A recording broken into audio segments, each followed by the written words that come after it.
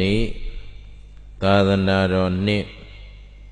2559ခုနှစ်ခောဇာသက္ကရ1389ခု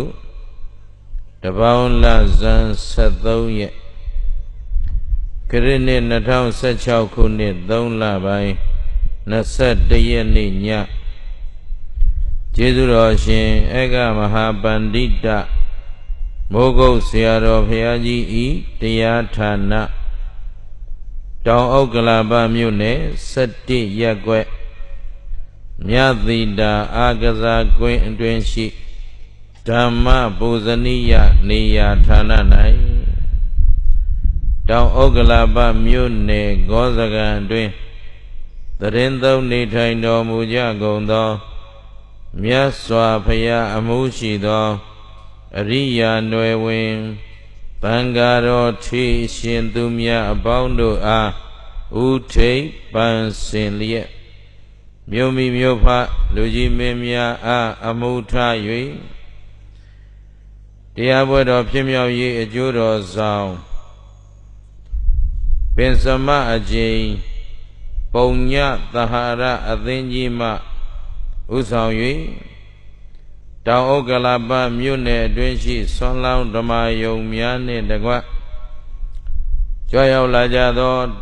ဓမ္မမိတ်ဆွေအပေါင်းသူတော်ကောင်းတို့မှစုပေါင်းလူဒန်းပြုလုပ်အပ်သောဓမ္မပူဇနိယအခါကာလဒုတိယည၌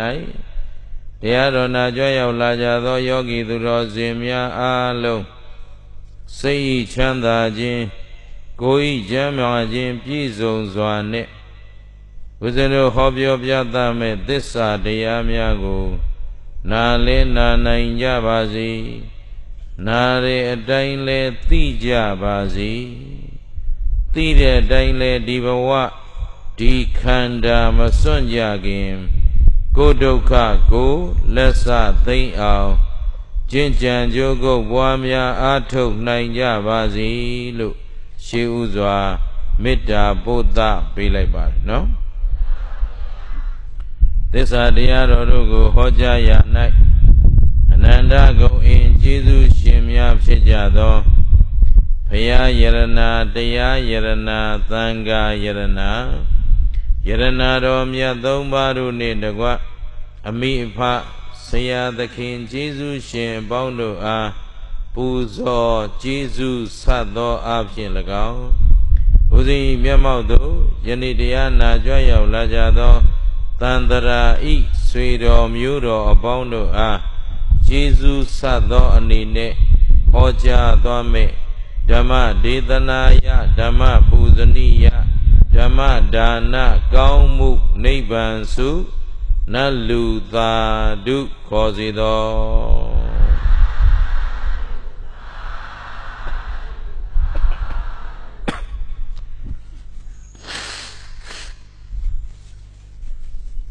ကဲဦးဇင်းတို့သူတော်ကောင်းတို့တွေတရားဟောတရားနာတရားအလှတော်မစခင်ကလေးမှာတရားပိုင်ရှင် ဖြစ်တော်မူသောမြတ်စွာဘုရားရှင်ကိုရောမြတ်ကြီးအားပူဇော်သောအဖြစ်ဩဝါဒပါတိမောက်ဒေသနာတော်ကိုကြားနာကြရအောင်လက်ဥချီအာယုံပြုပြီးတော့ယခုငါတို့ကြားနာနေရတဲ့ဒေသနာတော်သည် ပွင့်တော်မူကြကုန်သော ရှင်တော်ဗုဒ္ဓဘုရားရှင်တိုင်းဘုရားရှင်တိုင်းရဲ့အဆုံးအမဩဝါဒစကားပါလားလို့နာယူကြည်ညိုပူဇော်ကြပါနမောတတဗဂဝတောအရဟတောသမ္မာသမ္ဗုဒ္ဓတ္တသဗ္ဗပါပတ္တအကရဏံ ကုသလသဥပသမ္ပဒံသာစိတ်တပရိယောတပနံဣတံဗုဒ္ဓနာသာသနံခန္တီပရမံတပောတိဋိခာနိဗ္ဗာနံပရမံဝရန္တိဗုဒ္ဓနာဟိပပစီတောပရုပဂာတိ နသမနောဟောတိပရံဝိဟိထယံတောအနုပဝါဒောအနုပဂါတောပါတိမောက္ခေသသံဝရောမတ္တင်ညုတာသဗတ္တသမိန်ဗန္တင်သတယနာတနံအဓိစိတ်တေသအာယောကော ဣတံဗုဒ္ဓနာသာသနံသဗ္ဗပါပတ္တအလုံးစုံသောအကုသိုလ်ကိုယံအကရဏံအကျင်မပြုကျင့်ခြင်းသည်၎င်းကုသလတကုသိုလ်ကိုယာဥပတံပဒာအကျင်ပြည့်စုံစေခြင်းသည်၎င်း ယံသစိတ်တပရိယောတပနံအကျင်မိမိစိတ်ကို ဖြူစင်စေခြင်းသည်၎င်း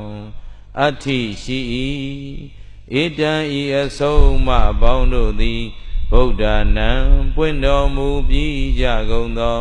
ရှင်တော်ဗုဒ္ဓမြတ်စွာဘုရားရှင်တိုင်းဘုရားရှင်တိုင်းတို့၏ သာသနံကြီးစွာသောအဆုံးမတော်သည်တိတိခာသီခံခြင်းဟုဆိုအပ်သောခန္တီခန္တိသီခံခြင်းခန္တိသည်ပရမံမြတ်သောတပောအကျင့်သည်နိဗ္ဗာနံကိလေသာမှငြိမ်းအေးခြင်းနိဗ္ဗာန်ကိုပရမံမြတ်ဤဟု၍ ဗုဒ္ဓမြတ်စွာဘုရားရှင်တို့သည်ဝရန္တိဟောတော်မူကြကုန်၏ပရုပဂာတိသူရဘာအသက်ကိုတပ်ဖြတ်လေရှိသောသူသည်ပပစီတော်ယဟံမြည်သည်ဝါဗုဒ္ဓဤတပိသာသာဝကမြည်သည်နဟိဟောတိစင်စစ်မဖြစ်ပရံသူတဘာကို ဝိဟိထယံတော့ကိုစိတ်ပင်ပန်းအောင်ညင်ပန်းနှိမ့်ဆက်လေရှိသောသူသည်သမနောဗုဒ္ဓဤတပိသာသာဝကမြည်သည်ဝါစိတ်နှလုံးငြိမ်းအေးချမ်းသာသူသည်နဟောတိမဖြစ်အနုပဝါဒောမဆွဆွဲမကဲ့ရဲ့ခြင်းသည်၎င်းအနုပဂါတော မငင်းစေမနှိပ်ဆက်ခြင်းသည်၎င်းပါတိမောက်ခေအကြီးမှုဖြစ်သောကာယဝစီမနောသုံးလီသောသီလတို့၌တံဝရောစကောင်းစွာစောင့်စည်းခြင်းသည်၎င်းဗတ္တသမိန်ဆွမ်းဘောစဉ်ဤမတ္တင်ညုတာစအတိုင်းရှိကိုသိသည်ဤအဖြစ်သည်၎င်း ပန္တင်စတယနာတနံစိတ်ငြိမ်ရာဖြစ်သောနေရာကြောင်း၌နေခြင်းသည်၎င်းအဓိစိတ်တေစိတ်ကိုအစိုးရခြင်းဒီဟုသောအဓိစိတ်တာသိခာပရ၌အာယောဂောစလုံလပြုခြင်းသည်၎င်းအဋ္ဌိရှိ၏ဧတံဤအဆုံးမအပေါင်းတို့ကို ဗုဒ္ဓနံပွင့်တော်မူပြီးကြကုန်သော ရှင်တော်ဗုဒ္ဓမြတ်စွာဘုရားရှင်တိုင်းဘုရားရှင်တိုင်းတို့သည် သာသနံကောင်းစွာမသွေဟောကြားဆုံးမတော်မူခဲ့ကြပါဘီကုန်တည်း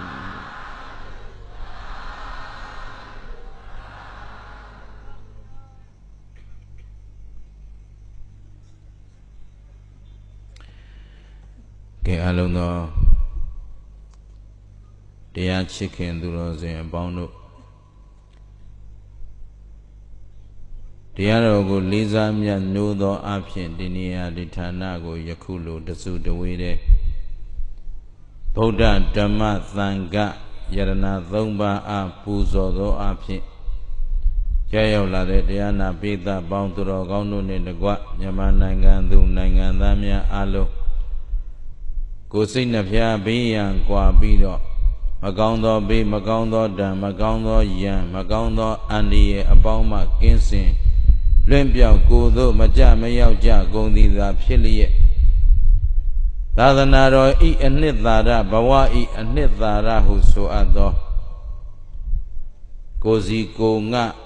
ကျင့်သုံးအပ်တဲ့ခိုင်မြဲတဲ့သီလခိုင်မြဲတဲ့သမာဓိ ခိုင်မြဲတဲ့ပညာပိုင်ရှင်များအဖြစ်နဲ့မဲ့ဖို့နိဗ္ဗာန်လင်းမြန်စွာဆိုက်ရောက်နိုင်ကြပါစေလို့ရှေးဥစွာဆုတောင်းမေတ္တာပို့ပေးပါတယ်နော်အဲ့တော့မနေ့ကဦးဇင်းတို့ပြောခဲ့တယ်ဗုဒ္ဓရဲ့တပည့်သားသာဝကမှန်ရင်ဗုဒ္ဓရဲ့အဆုံးအမတိုင်းလိုက်နာကျင့်ဆောင်နေရမယ်လို့မပြောခဲ့ဘူးလား အဲဒါလို့ကျင့်ဆောင်ဖို့အတွက်လုပ်ငန်းတာဝန်အဖြစ်နံပါတ်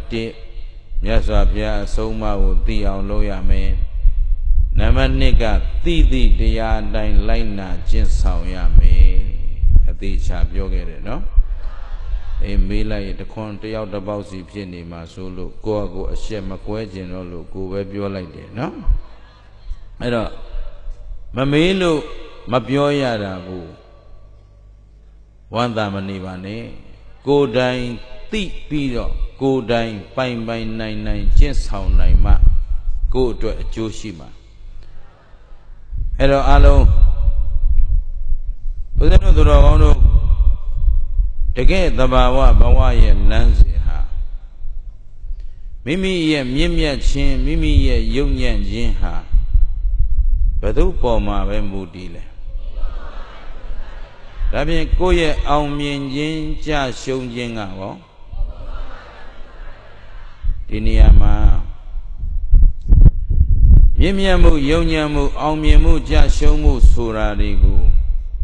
တိုင်းထွာတဲ့ပေတံအမှန်ရှိဖို့တော့လိုတယ်အဲ့တော့ဒုဒကဓမ္မတွေကဗုဒ္ဓရဲ့တပိသသာဝကတွေပြီးပြီးဘာပေတံနဲ့တိုင်းကြမလဲ သီလတရားမမေ့ပါနဲ့နော်အလေးနဲ့ထားပြီးတော့ဆွဲဆွဲမြဲမြဲမှတ်သားထားကြဖို့လိုပါတယ်မနေ့ကမြတ်စွာဘုရားကဗန္ဒဂာမသုတ်မှာဗန္ဒရွာဝိစီတိုင်းမှာမြတ်စွာဘုရားကယဟန်တွေကို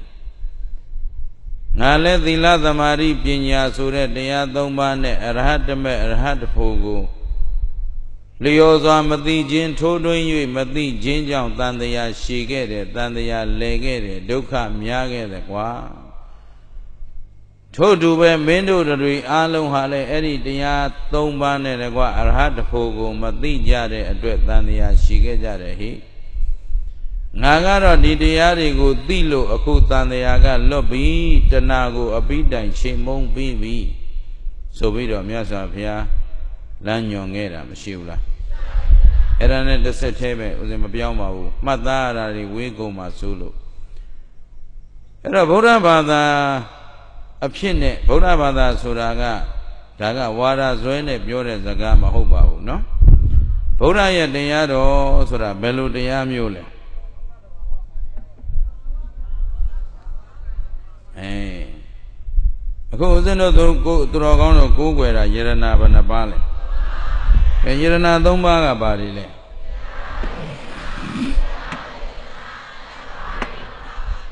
ယရနာဘယ်နှပါးဟုတ်ပြီယရနာ၃ပါးလို့ဆိုခြင်းကြောင့်ယရနာနဲ့ထိုက်တန်တဲ့အင်္ဂါရပ်တွေရှိဖို့လိုအပ်မလို့อ่ะအဲ့တော့ယရနာထိုက်ဖို့ဆိုရင်တိယုံကြည်ရမယ်တိကဘာလို့ရမလဲနှစ်ကနှစ်သက်ဖွယ်ဖြစ်ရမယ် နှစ်ကသုံးကမြတ်နိုးဖွယ်ဖြစ်ရမယ်သုံးကလေးကတန်ဖိုးထားเสียဖြစ်ရအင်္ဂါဘဏ္ဍရလဲယုံကြည်တိုင်းနှစ်သက်ထိုက်မြတ်နိုးတိုက်တန်ဖိုးထားတိုက်တာကိုမှဘာလို့ခေါ်ရယရနာလို့ခေါ်ပါတယ်ဒါပြင်မြတ်စွာဘုရားမှာအဲ့ဒီအင်္ဂါ၄ရပ်နဲ့ပြည့်စုံမပြည့်စုံမြတ်စွာဘုရားကို ယုံတိုက်မယုံတိုက်ဘာကြောင့်မြတ်စွာဘုရားကိုယုံတိုက်ပါသလဲ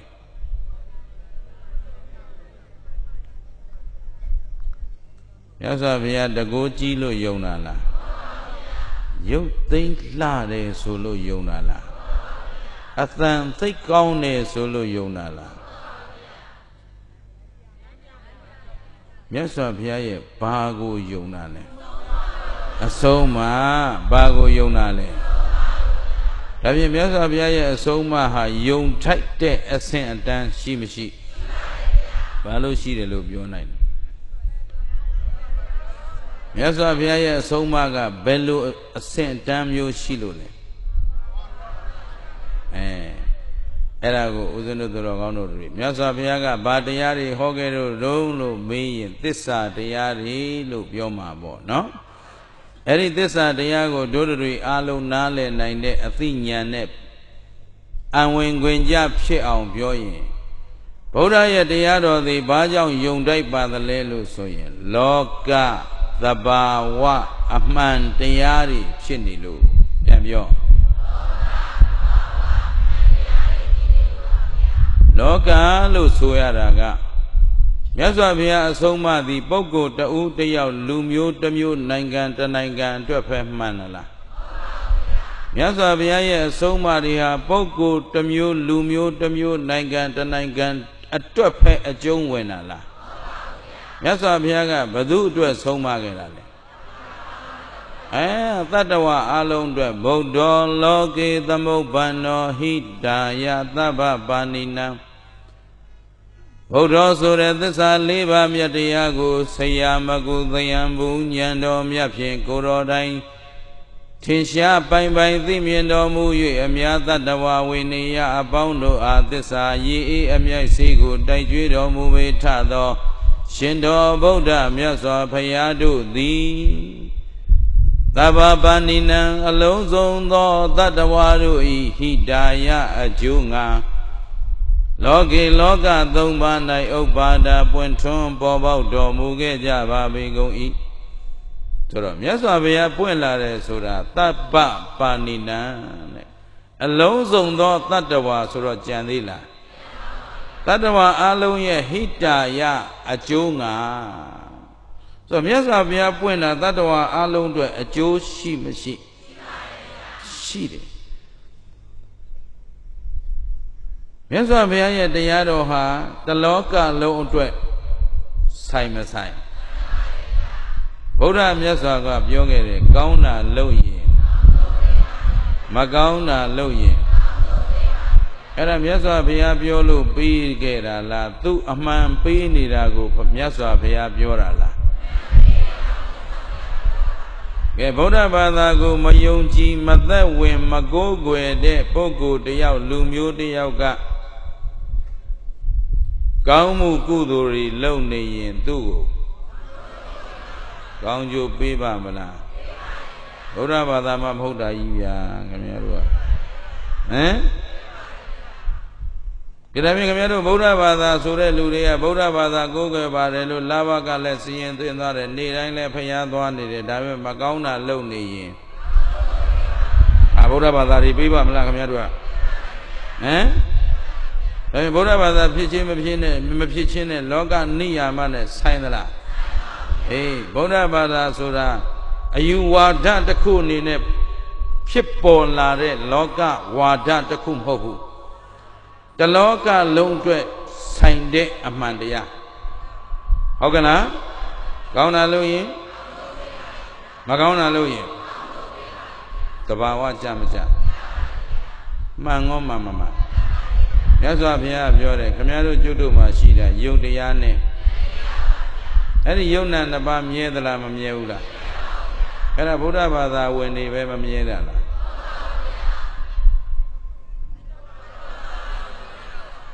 ဟိုအနောက်နိုင်ငံဟာတွေရောဘလို့ခုခုလကဝါသွားနေနေတဲ့ကောင်တွေရောဟမ်ဘယ်စัจ java လာသွားရင်မြဲမလို့ဒါဖြင့်ဒီလောကလုံးနဲ့မဆိုင်ဘူးလား မှန်ကောမမှန်ဘူးလားအဲ့ဒါကိုဗုဒ္ဓရဲ့အဆုံးအမလို့ခေါ်တယ်ဗုဒ္ဓဘာသာဟာအသင်းအဖွဲ့ဂိုင်းတကိုင်းဝါဒတစ်ခုမဟုတ်ဘူးဗျလူမျိုးတစ်မျိုးအတွက်တစ်မျိုးတည်းမူပိုင်လည်းမဟုတ်ဘူးဗျသဘောပါလားတလောကလုံးဆိုင်ပါတယ်ဆိုမှခင်ဗျားတို့ကကိုယ်ပိုင်သိကျင်လို့ရပါမယ်အေးအဲ့တော့ဦးဇင်းတို့တော်ကောင်းတို့တွေနားလည်ထားမှာက ဗုဒ္ဓရဲ့တရားတော်သည် လောကသဘာဝအမှန်တရားဖြစ်နေတဲ့အတွက်ယုံတိုင်းမယုံတိုင်းနှစ်သက်ဖွယ်ကောင်းမကောင်းဒါတော့မိမိရဲ့ဉာဏ်မီသလောက်ဒီလောကသဘာဝအမှန်တရားဆိုတဲ့အင်္ဂါ၃ရပ်ကိုဉာဏ်ကျယ်သလောက်ချက်ကြည့်ပြီးဘလောက်နှစ်သက်စရာကောင်းတယ်ဆိုတာကိုဉာဏ်နဲ့ကိုနှစ်သက်လိုက်တော့တို့ပြောဖို့အချိန်များတော့ဘူးရှေ့မှာလည်းပြောထားတာကြီးအများကြီးရှိခဲ့ပြီဟုတ်ပြီနော်ဦးဇင်းတို့ကတော့ဒစိမ့်စိမ့်တွေးလေနှစ်သက်လေ ဉာဏ်နိုးစရာပေါ့နှစ်သက်တာနဲ့ဉာဏ်နိုးတာမတူပါဘူးနှစ်သက်တယ်ဆိုတာလှတာမြင်လိုချင်တာဒါနှစ်သက်တာကောင်းတာလေးမြင်လိုချင်များပြီလှတာလေးမြင်လိုချင်များပြီမြင်မြင်သမျှလိုချင်နေတာအဲ့ဒါနှစ်သက်တာဉာဏ်နိုးတာကြတော့ထာဝစဉ်ကိုနဲ့မကွာထာဝရကိုနဲ့ဆောင်ထားတာဒါကိုဉာဏ်နိုးတယ်လို့ခေါ်တယ် အဲ့တော့လှတာမြင်တိုင်းလိုချင်တဲ့လူကိုခင်ဗျားတို့ကအမလေးလှလိုက်တာတော့ချစ်စရာလေးချစ်လိုက်တာဆိုရင်သဘောတွေကြားလို့ပြီးတော့2ရက်3ရက်လောက်ပေါင်းပြီး꿰ပြန်ရောဟမ်မျက်နှိုးမှုမပါရင်စွဲမြဲမှုဆိုတာရှိမလားအေးဘာသာတရားဆိုတာအဲ့ဒါလို့မဟုတ်ဘူးတသက်တာခြာဝရအတွက်တမြတ်တနူးဆိုတာဗုဒ္ဓအဆုံးအမလေးကဗုဒ္ဓကဒီလိုမလုပ်နဲ့လို့ပြောတာဟာသူ့အကျိုးလားသူတော်ကောင်းတို့အကျိုးလား တပည့်တော်တို့ကြိုးပါလို့ဘယ်သူတော်ကောင်းတို့ကြိုးရန်ကုန်သူရန်ကုန်သားမို့လို့ငါလေမှတ်နေတယ်ဘသူကြိုးတော့ယုံလားအဲ့ဒါကိုကမျက်နှိုးစရာကိုနဲ့မကွာဆောင်ထားစရာမစွန့်လွတ်စရာတခါတည်းထာဝရတမြတ်တနိုးအော်ဘုရားကဒါဒီလိုလောက်တာမကြိုက်ဘူးငါမြတ်စွာဘုရားကိုအကျွေးမဲ့ယုံကြည်သောကြောင့်ဒီစကားဒီငါအကျိုးငါ ဆုံးမထားတဲ့စကားပါလားလို့မမေ့မလျော့မျက်မျက်နိုးနိုးဆောင်ထားတဲ့ဆောင်ထားတိုက်တဲ့အရာမြတ်စွာဘုရားအဆုံးအမကိုဆန့်ကျင်ပြီဆိုရင်ဒုက္ခရောက်တော့ပဲသာမှတ်ထားတော့ရှင်းလားအဲ့ဒါမြတ်စွာဘုရားကဒုက္ခရောက်ပါစေလို့ပြစ်ဒဏ်ခတ်ခဲ့တာလားမြတ်စွာဘုရားကဘသူကိုမှလည်းဒဏ်မခတ်သလိုဘသူမှလည်းဆုပေးမှာမဟုတ်ပါဘူး လောကနိယာမဓမ္မအရာကောင်းတာလုပ်လို့ကောင်းကျိုးပေးတာမကောင်းတာလုပ်ရင်ကျင့်ရသလားပြည်သူကလည်းဓမ္မခတ်ဘူးဘသူကမှဓမ္မခတ်ဘူးဘယ်နှမင်းကြီးကမှလည်းဓမ္မခတ်ဘူးမင်းတို့ကလည်းမင်းတို့သွားမှာဒါပဲမှတ်တာရှင်းလားအကြောင်းကောင်းရင်အကြောင်းမကောင်းရင်ဘသူမပြုတ်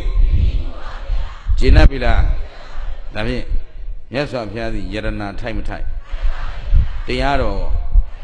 တရားဘာလို့ယရနာထိုက်လဲဆိုရင် လောကတဘာဝအမှန်တရားဖြစ်နေလို့ပြန်ပြောဒီနေ့သူတော်ကောင်းတို့ဗုဒ္ဓဘာသာဖြစ်ရတဲ့လူတိုင်းလောကအလယ်မှာအလွန်ပဲမိမိကိုယ်ကိုမိမိဝမ်းမြောက်ထိုက်ဂုံယူထိုက်ကျေနပ်ထိုက်တဲ့ပုံကိုယ်တွေဘယ်ဘာသာမှ ဤကဲ့သို့မှန်ကန်တိကျသောလမ်းကြောင်းမရှိဘူးလို့မှတ်ထားလိုက်ပါရှင်းလားဗုဒ္ဓတရားတော်သည်ကြိုက်တဲ့ဘက်ကစစ်လိုက်ပါခုယုံ nant မမြဲဘူးလို့ပြောတဲ့ကြိုက်တဲ့သိပ္ပံပညာရှင်မဟုတ်သိပ္ပံပညာရှင်ရဲ့ဘိုးဘေးဘီပင်ဟိုစัจ java လာမှာရှိသမျှအကုန်ခေါ်ပြီးစစ်အောင်ကြိုက်တယ်လို့စစ်မြဲတဲ့ရုပ်ရှိလားဘယ်တော့တွေ့မလဲမြဲတဲ့ရုပ်အဲဘယ်တော့မှမမြဲလို့ဘယ်တော့မှလည်းမတွေ့နိုင်ဘူး ရှင်းလားအဲ့တော့ယုံ nant ခန္ဓာဆိုတာအမြဲတမ်းဖြစ်ပြီးရင်ဘာသစ္စာချမ်းသာလဲရှာလို့ရမှာမဟုတ်ဘူးသဘောပါလားလောကသဘာဝအမှန်တရားကြီးအလွန်မြတ်နိုးစရာအလွန်နှစ်သက်စရာမယုံစရာအကြောင်းကိုမြတ်စွာဘုရားတရားတော်ထဲမှာအများနဲ့လွဲချော်ချွတ်ချော်လောကသဘာဝနဲ့ချွတ်ချော်နေတာဘာရှိတော့ ကြိုက်တဲ့ဘက်ကစစ်ရှင်းလားသမုဒိယသစ္စာလောက်ရင်ဒုက္ခသစ္စာရမှာပဲသမုဒိယလောက်တိုင်းသမုဒိယငြိမ်းရင်အဲ့တော့သမုဒိယငြိမ်းနိုင်တဲ့ပုဂ္ဂိုလ်မှရင်ဒုက္ခအဲ့ဒါဘယ်သူတွေပဲဝါတွေဘာလူမျိုးတွေပဲနိုင်ငံတွေဆိုင်သလားကျင့်သလားဒါဖြင့်ဓမ္မသည်လဲမျက်နှိုးပွင့်ကောင်းမကောင်း ဓမ္မဆိုတာသူတော်ကောင်းတို့တွေသိပြီးတော့သိတဲ့အတိုင်းထားမှလားကျင့်ဆောင်ရမှာဘယ်သူအကျိုးအတွက်လဲအသိဉာဏ်ရှိသူ လိမ္မာပန်းတ်သူ အမြင်ကျဲသူ အပြော်အမြင်ရှိသူမှန်ရင်တရားကိုဘယ်သောအခါမှလက်မလွတ်တော့ဘူးလို့ဒါဓမ္မရဲ့မျက်နှိုးပွဲရကောင်းဖို့ လောကမှာတရားသိသူနဲ့မသိသူဘယ်သူကမြင့်မြတ်တယ်လဲတရားကျင့်သူနဲ့မကျင့်သူဘယ်သူကစင်ကြယ်မလဲ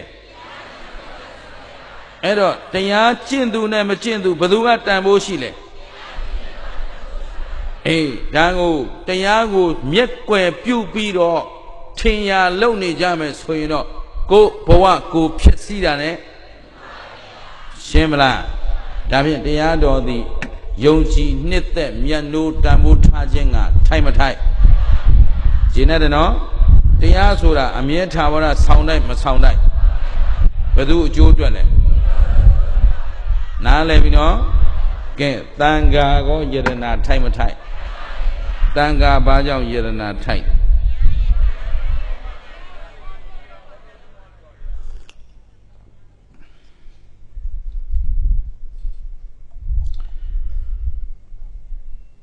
တန်ဃာဆိုတာမြတ်စွာဘုရားရဲ့အဆုံးအမကိုကောင်းစွာ ဖြောင့်စွာမှန်စွာလျော်စွာကျင့်ဆောင်နေကြတဲ့ပုဂ္ဂိုလ်တွေကိုတန်ဃာလို့ဒီတော့ဦးဇင်းကဒီသုံးပါးကိုစနစ်တကျမှတ်မိအောင်မြတ်စွာဘုရားကိုဘာကြောင့်ယတနာထိုက်တယ်လဲလို့မေးရင်လောက တဘာဝအမှန်တရားကို ကိုတော်တိုင်သိမြင်ဟောကြားဆုံးမတော်မူခဲ့လို့ပါဗျာမြတ်စွာဘုရားကအနိုင်မဲ့အမြင့်မြတ်ဆုံးပုဂ္ဂိုလ်ကြီးမို့လို့ဘုရားရှင်နဲ့ထိုက်တန်တဲ့အသုံးနှုန်းကိုသုံးရမယ်ဒါကြောင့်တော်ဆိုတာလေးထည့်ရတယ်အဲ့တော့သေချာနာတော့နော်မြတ်စွာဘုရားကိုဘာလို့ယုံတိုက်သလဲဟဲ့လို့များမေးခဲ့ရင် လောကတဘာဝအမှန်တရားကို ကိုတော်တိုင်သိမြင်ဟောကြားဆုံးမတော်မူခဲ့လို့ပါဖယားပြောတတ်ပြီလားကဲပြောကြည့်မြတ်စွာဘုရားဘာလို့ယရနာထိုင်လဲ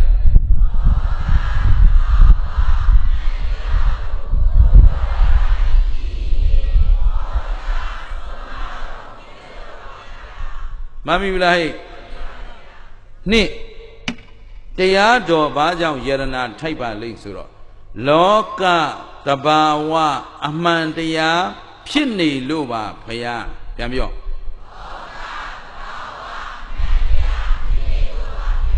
ဖြတ်သလား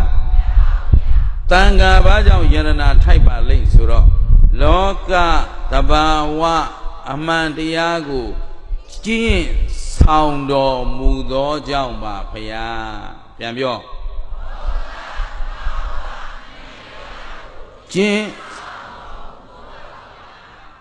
ရှင်းမလားအဲ့တော့တို့မှာကိုးကွယ်စရာယရနာဘယ်နှပါအဲ့ယရနာ၃ပါးလုံးဟာအနှစ်ချုပ်လိုက်တော့မြတ်စွာဘုရားကိုယုံရတာလဲတရားကြောင့်တရားကိုယုံရတာလဲတရားကြောင့်တန်ခါကိုယုံရတာလဲတရားကြောင့်ဒါဖြင့်တို့တရားတစ်ခုတည်းကိုးကွယ်မရဘူးလားဟမ်ဘာလို့မရ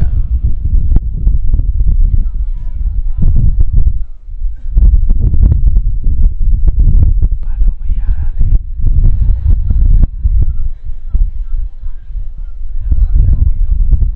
ကျန်ပြီးတော့ကြီးငြိအဲ့ဒါဦးဇင်းတို့ပိုင်ပိုင်နိုင်နိုင်သိထားရမယ်ကိစ္စတွေမို့လို့ဒီနေ့နည်းနည်းအ ချိန်ယူပြီးပြောပါတယ်နော်ရှိမှဟောစရာတွေအများကြီးကြံပါသေးတယ်အဲ့တော့ဒီချက်ကလေးမပါလိုက်ရင်ရန်ကုန်နဲ့တိုးနဲ့ဆိုတာကလည်းလေနော်နက်ခတ်ကောင်းလုံးလေးပဲ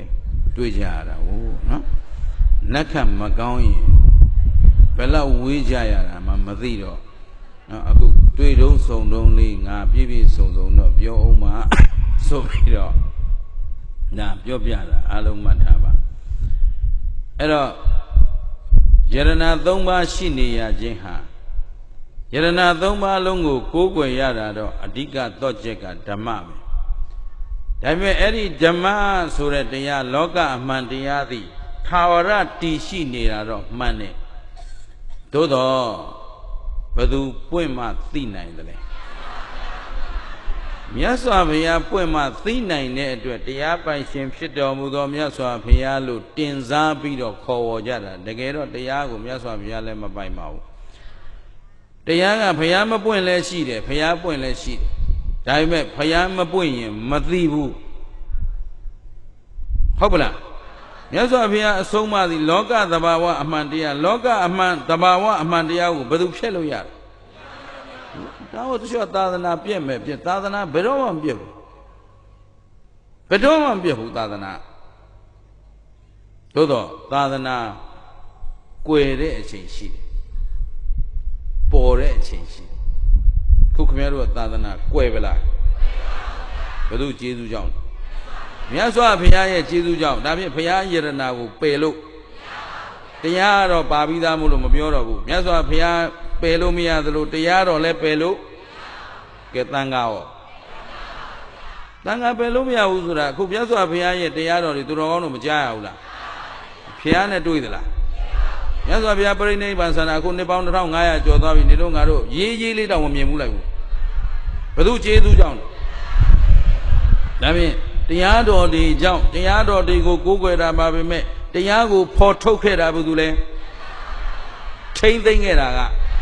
အဲဒါပဲဒါကြောင့်ဒီယရဏနှစ်ပါးကိုပြစ်ပယ်လို့ကျေးဇူးရှိမရှိဒါမို့တန်ဖိုးတိမ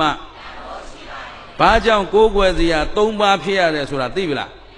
ဒါပေမဲ့တကယ်အားထားရမှာတော့တရားတစ်မျိုးတည်းပဲရှိတယ်အရေးအကြောင်းဆိုခမရတို့ဘုရားလာခဲ့မလားတန်ခါကတန်ခါကဲပါကဲပါဆိုပြီးနေရာတိုင်းဘုန်းကြီးတွေထွက်ထွက်ဆန္ဒပြခိုင်းလို့လားဒါလို့လို့လားအဲမေးအောင်မမင်းတို့ ကိုကိစ္စကိုရှင်းဖို့ကွာငါတို့နဲ့ပါဆိုင်လဲမင်းတို့ဟာသဘောပါလားအကြောင်းကောင်းမှအကြောင်းမှန်မှအဲ့တော့ရိတ်ကြုံဘု து အာကုန်တရားတရားဘာအာကုန်မဲတရားကလည်းစာအုပ်ထဲရှိတဲ့တရားလားကိုယ်ရင်ထဲရှိတဲ့တရားလားအေးဒါကွဲရင်ပြီးတာပါပဲကွာသိများများမပြောတော့ဘူးငါများပြောပြောလဲသိချင်တတ်ကြတာမဟုတ်အဲ့တော့ထားပါတော့အခုမနေ့ကပြောလိုက်ပြီးသီလသမာဓိပညာတွေမပြောဘူးလား ပြောတော့သူတော်ကောင်းတို့တွေဒီနေ့ဗုဒ္ဓဘာသာကိုအနှစ်ချုပ်လိုက်ရင်ကိုစီကိုစီမပြတ်ပါဆောင်ထားတဲ့တရားဆောင်တယ်ဆိုတာတရားဆောင်တယ်ဆိုတာဘယ်လိုမျိုးတုံးလို့မေးရင်ဝေးဥမှာပါပဲမမေးတော့ပါဘူးနော်တရားဆောင်တယ်ဆိုတာကိုယ်မှမပြတ်တရားကိုကျင့် ဆောင်တာကျင့်မှဆောင်လို့ရအဲ့တော့တရားအမြဲတမ်းအထုတ်နေတာကိုတရားဆောင်တယ်လို့ခေါ်တယ်အဲ့တော့အမြဲတမ်းအထုတ်နေဆိုတော့အမြဲတမ်းရိတ်တာသွားနေရမှာလားမှန်ပါဗျာတရားအထုတ်တယ်ဆိုတာဘယ်လိုမျိုးလို့တတရားဘယ်နာသွားအထုတ်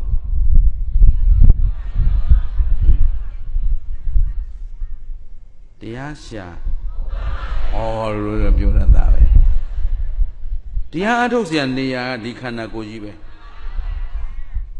ဒီတော့ဒီမှာအထုတ်မှာဆိုကြတဲ့ဘယ်ချိန်တုန်းဆိုတော့ဒီခန္ဓာရှိနေတဲ့အချိန်တိုင်းလုပ်ရုံပဲပေါ့ဟုတ်ပြီနော်အဲ့တော့တရားမှုမတရားမှုကဘယ်မှာဖြစ်နေခန္ဓာအဲ့ခန္ဓာမှာဘယ်နေရာဖြစ်တယ်လဲလို့မေးရင်မဖြစ်နေတော့ကြုတ်ပဲဖြစ်တော့ကာယကံဝစီကံမနောကံကံဘယ်နှပါလဲ ကုသိုလ်ဖြစ်တာလဲဒီကံသုံးပါးကြောင့်အာကုသိုလ်ဖြစ်တာကောဒါဖြင့်ငရဲရောက်တာလဲနတ်ပြည်ရောက်တာလဲအနိဗ္ဗာန်ရောက်ချင်ကော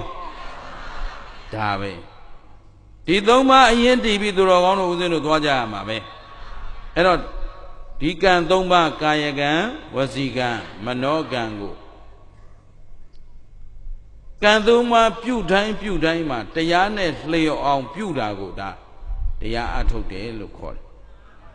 အဲ့တော့မိမိကိုယ်ကိုမိမိမျက်နှိုးတန်ဖိုးထားတဲ့လူကအစဉ်အမြဲဘာလုပ်နေရတရားအထုတ်နေရမယ်အဲ့တော့တရားအထုတ်ဖို့အတွက်အဆင့်တွေကိုမြတ်စွာဘုရားကနော်ကျင့်စဉ်ကလေးပြောခဲ့တာရှိပါတယ်မနေ့ကတရားနဲ့မကွဲအောင်ဟောမှာပါ အဲ့ဒါလဲသရုပ်ကနိဗ္ဗာန်အင်္ဂုတ္ထုမှာပဲလာပါတယ်ဘာပြောသလဲဆိုတော့တိသီလစင်ကြယ်အောင်ကျင့်ရမယ်တဲ့ဘာလဲလဲဘုဒ္ဓတွေအာထုတ်အားလုံးအာထုတ်ပြီးအာထုတ်ပြီးဆိုရင်ဘာစင်ကြယ်အောင်အာထုတ်အောင်နှစ်စိတ်စင်ကြယ်အောင်အာထုတ်ရမယ်ဗါတယ်လေဟုတ်ပြီနံပါတ်3အယူစင်ကြယ်အောင်အာထုတ်ရမယ်သုံးကဗါတယ်လေ နံပါတ်4လွတ်မြောက်မှုစင်ကြယ်အောင်အာထုတ်ရမယ်တဲ့ဗါတယ်လေအဲ့တော့ကိုဘဝကိုတန်ဖိုးထားသူတိုင်းအားထုတ်ရမယ်အဆင့်ဘယ်နှဆင့်လဲဒီလေးဆင့်တစ်ခုမှအားမထုတ်ရင်ကိုကိုကိုတန်ဖိုးထားတဲ့လူလားဖြက်စီးနေတဲ့လူလားအဲဖြက်စီးနေတဲ့လူတို့ပြောတာကလူဘဝမှာရောက်ခိုက်မှာလူသားတိုင်းမှာကိုဘဝကိုရွေးချယ်ပိုင်ခွင့် အားလုံးအခွင့်အရေးတူတူပဲအခွင့်အရေးအားလုံးတူတူပဲအဲ့ဒီထဲမှာကိုကိုကိုလူယုံမှာဇက်သွင်းပြီးတော့လူယုံမှာစခန်းသွားတာလဲကိုလန်းကိုလျှောက်တာပဲရှင်းတယ်နော်သူတော်ကောင်းအဖြစ်နဲ့ကိုကိုကိုတီဆောက်ယူရင်လဲဘု து ပေါ်မှာပဲမူတည်တာအဲ့တော့အခုမင်းရင်တော့ဖြေကြမှသိပါတယ်ဒါပေမဲ့ဖြေရင်ကုသိုလ်ရအောင်မှမို့လို့မေးလိုက်ပါအောင်မယ် သူတော်ကောင်းတွေဖြစ်ချင်သလားသူယုံမာတွေဖြစ်ချင်လားကိုကိုကိုယုံညံ့သူဖြစ်ချင်လားမြင့်မြတ်သူဖြစ်ချင်လားဟောဒီလူဘဝလေးခဏလာတာမြတ်ချင်လားရှုံးချင်လားဩသာဓုသာဓုခမည်းတော်တော့ယုံပါတယ်ဘာလို့ဆိုတရားပွဲတဲ့ရောက်နေပြီဒါဒီလိုပုံကိုယ်တွေမို့လို့ပေါ့ဒါပေမဲ့လူများယုံလေးလာအားပေးသွားတာတော့မလုပ်ကြပါနဲ့ဗျာနော်နော် တရားပွဲထဲမှာလူများလေးလေးဥတုမင်္ဂလာကြောက်လေပါပဲဘာလို့ဆိုပြောလိုက်ရင်ဘု து တပည့်တုံးဆိုတော့ဥတုမင်္ဂလာတပည့်မဟုတ်တာလုပ်တာလဲ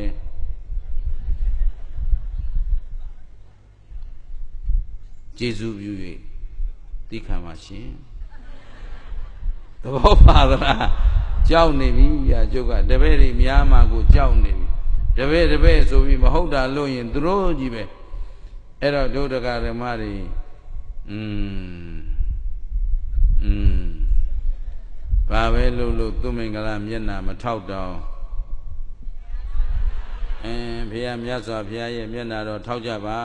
ဆိုပြီးတရားပွဲတိုင်းမြတ်စွာဘုရားပင့်ပင့်လာတယ်နော်သဘောပါလားကြည်ရောကြည်နှက်ကလားဒါဖြင့်ဘု து မျက်နာတော်ထောက်ပေးပါမြတ်စွာဘုရားမျက်နာတော်ထောက်ကြပါဘု து တရားပြည့်ပြည့် ရှင်းတယ်နော်အဲ့တော့နံပါတ်1ပါစင်ကြရကာယကံသီလအဲ့ဒါအရေးကြီးပါတယ်ကာယကံပဲလှုပ်လို့ဝစီကံပဲလှုပ်လို့မနောကံပဲလှုပ်လို့သီလစင်ကြယ်အောင်လုပ်ပါမနေ့ကတရားကောင်းစဉ်ပါတယ်လေအမားလေးတခါတည်းပဲမှားတာပါ နော်ကဲဆက်လက်ကြအောင်တော့တော်စားဒါမပြီးရင်လည်းမနေ့ပြန်သာကိတလိုက်နာနေရလိမ့်မယ်နော်အဲ့တော့ကြည်อืมဒီတန်ခါကခုနကဇက်လိုက်ပြန်ပြောင်းတာပေါ့ဘယ်သူတဲ့လဲမနေ့ကအမျိုးသမီးလေးဘယ်သူတော့ကောင်းခြင်းငါးပြာနဲ့ပြည့်စုံတဲ့အလှပကေးလေးတထေသမီး သူတော်ကောင်းမလေးဣတိဓာတိသူကိုယ်တိုင်ကိုကျင့်တရားပြက်တာရှိသလားမရှိဘူးအလွန်စင်ကြယ်ပါတယ်သို့တော့အကျိုးပေးကောင်းပါရဲ့လားပထမအိမ်တောင်အဲအမျိုးသားကမပေါင်းနိုင်ပါဘူးဆိုပြီးတော့ဆန္ဒပြလို့ပြန်ဖို့ဒုတိယသထေသာတလပါပဲ နောက်ဆုံးတော့ဇက်ကနာကျင်တော့အဖေလှုပ်တဲ့လူကကဲဒီတခါတော့ဒီကောင်ဘာမှမငင်းနိုင်ပါဘူးကွာဆိုပြီးတော့ဘသူလက်ထဲထဲလိုက်တယ်ခွက်ဖယ်ပေးပါတဲ့နော်သူခွက်နဲ့နံငယ်ပိုင်းပဲပေးပါဒီမိမနဲ့တော့မပေါင်းမရစေနဲ့ဘာကြောင့်လဲ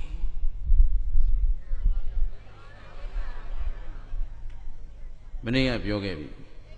ပြစ္ဆုတ်ပံခန္ဓာယတ္တိမှုတွေကိုထောက်ပံ့နေတာကဒိဋ္ဌိသူပြစ္ဆုတ်ပံမှာမှားသလား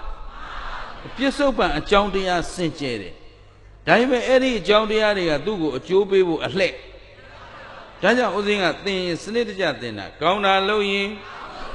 မကောင်းတာလုပ်ရင်ဘယ်အချိန်ပေးမှာ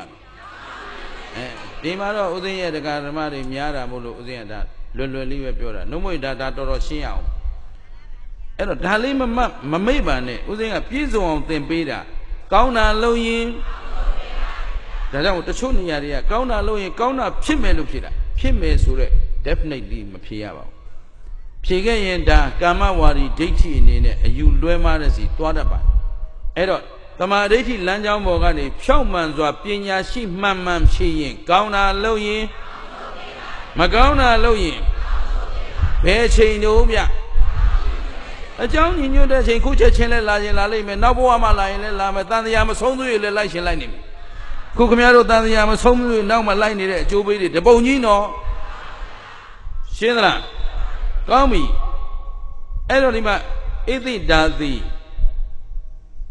မြတ်စွာဘုရားရဲ့တရားတော်တွေလည်းရှိနေတယ်သာသနာကိုယုံကြည်ကိုးကွယ်စိတ်ကပ်သူလည်းဖြစ်တော့ သူကိုသူတော့အလွန်ကိုစိတ်နာသွားပြီရှက်လဲရှက်သွားပြီရက်ွက်ထဲထွက်ပြဖို့တောင်ဆင်မပြေတော့ဘူးကဲညချမ်းအချိန်မှဒါလို့ဖယိုဖျဲဖြစ်ပြီးတရောင်းသားကခွက်ဆွဲပြန်ထွက်သွားပြီဆိုကြပါစို့တညာလုံးတော့ကဖြစ်ပြီးတော့ငိုးတယ်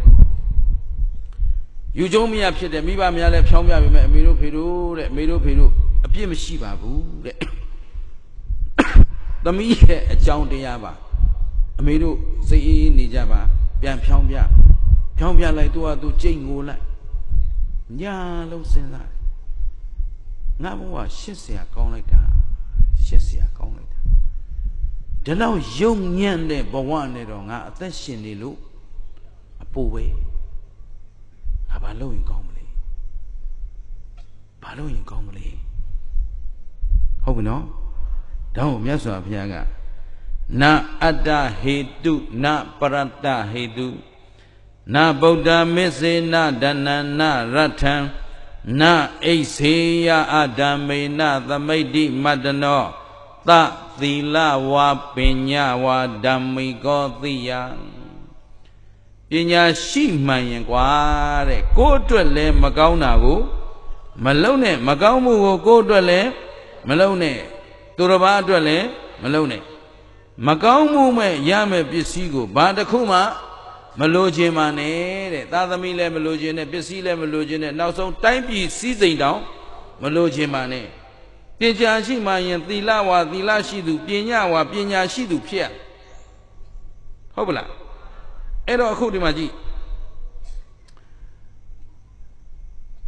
ဒါဟာငါဘဝရဲ့အတိတ်က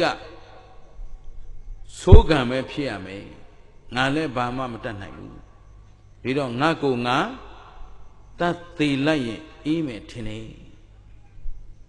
ဒါဘယ်သူစဉ်းစားတာလဲအဲဣသိဓာတိက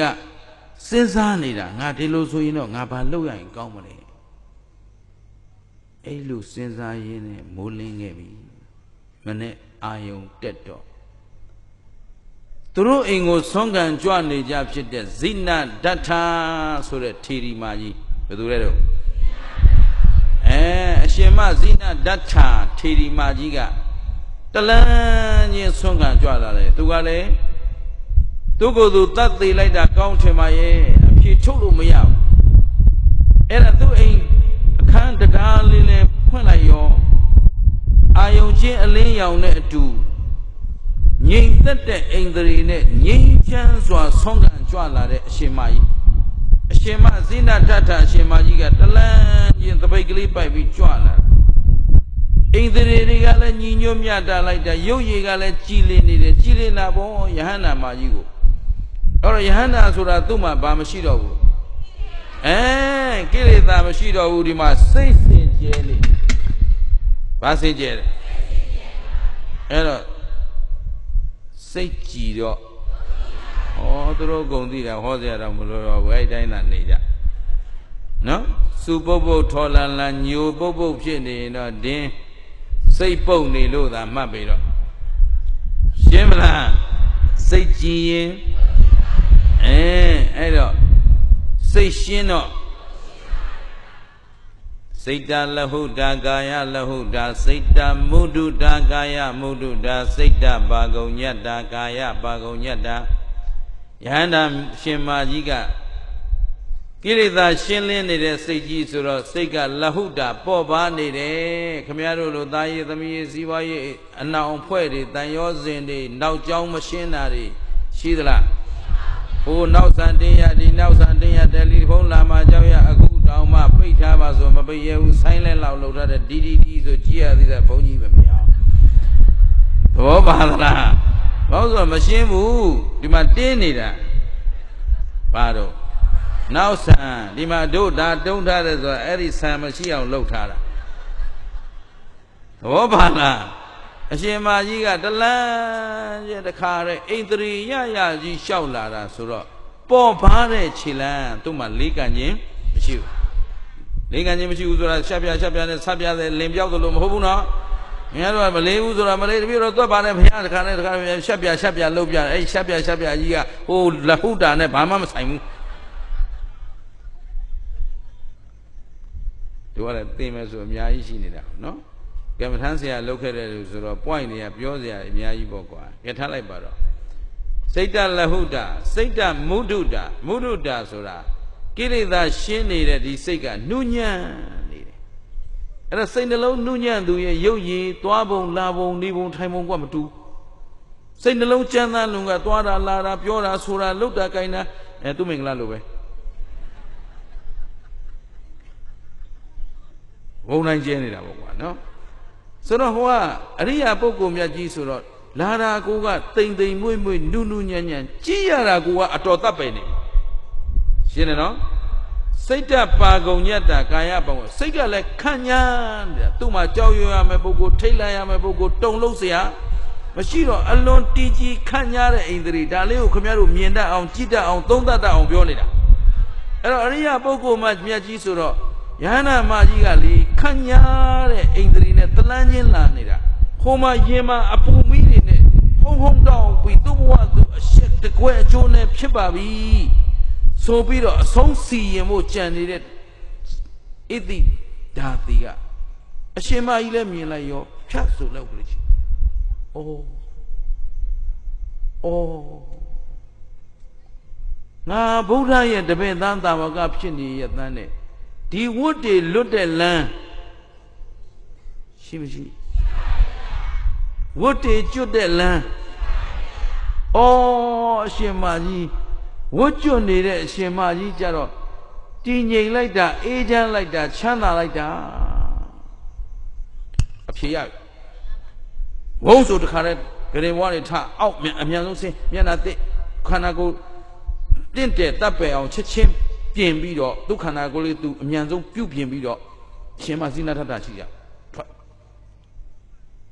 ခြေတော်ဆုံးဥခိုက်ကြကြနနအရှင်မဖရာဆွမ်းအလူခံရ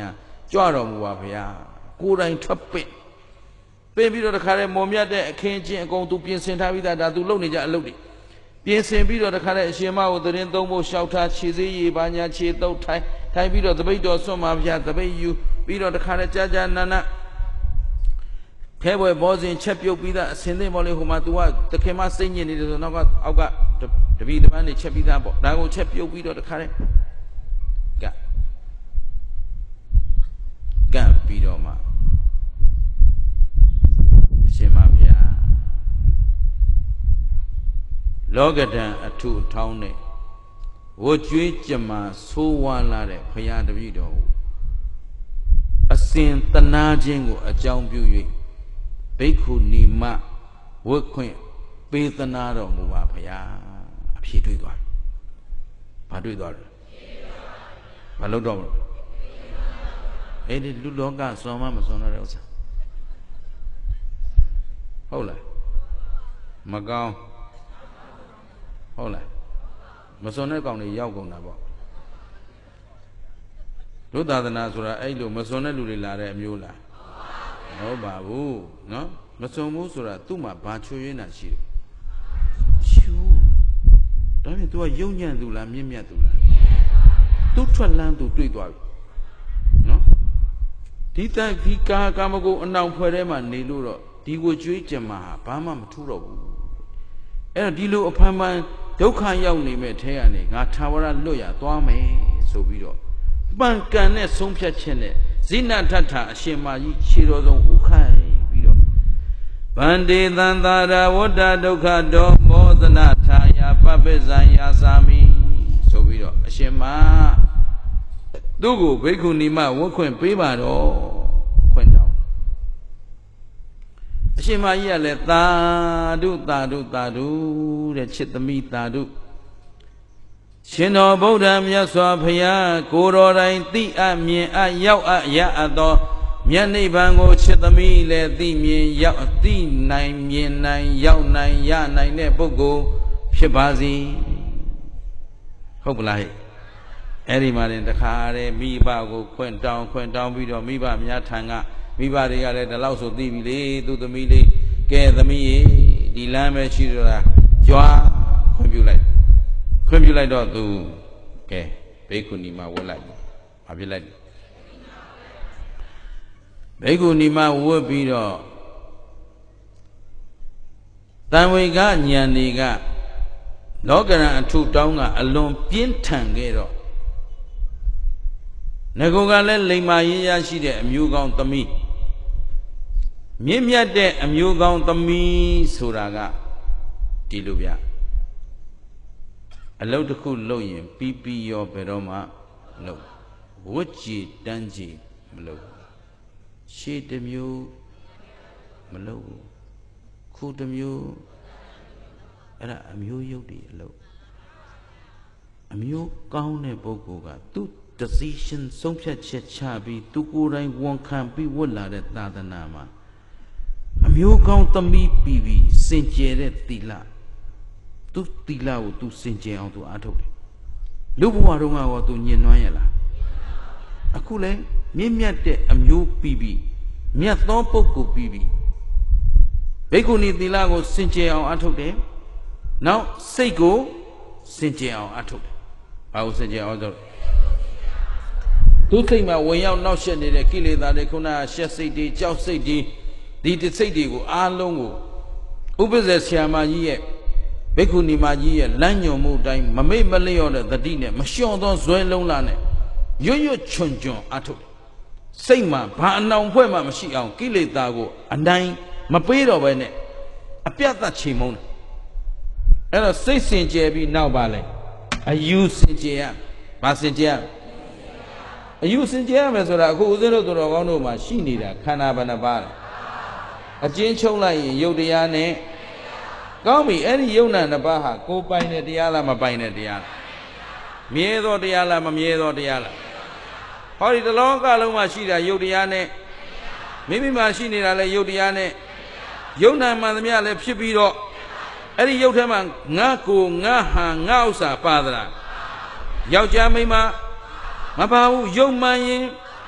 အေးယုတ်တရားမှန်သမျှဖောက်ပြန်ပြီးတော့ဖြစ်ပြီးတော့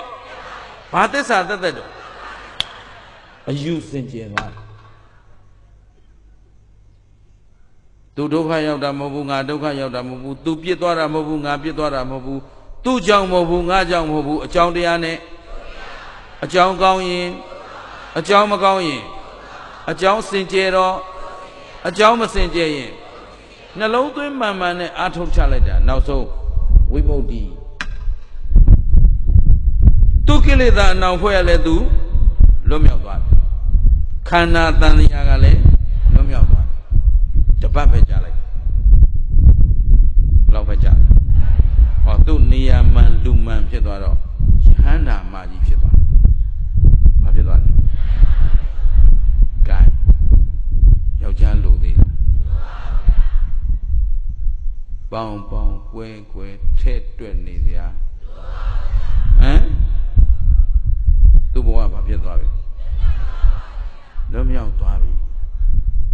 အရဟတမေအရဟတဖို့ဆိုတဲ့လွတ်မြောက်မှုစင်ကြယ်သွားပြီသူ့မှာကိလေသာအနောင်ဖွဲဘယ်လောက်လွတ်မြောက်သွားလဲဆိုတော့ပရိသံပိဒပတ္တဆက်လာဘိညာ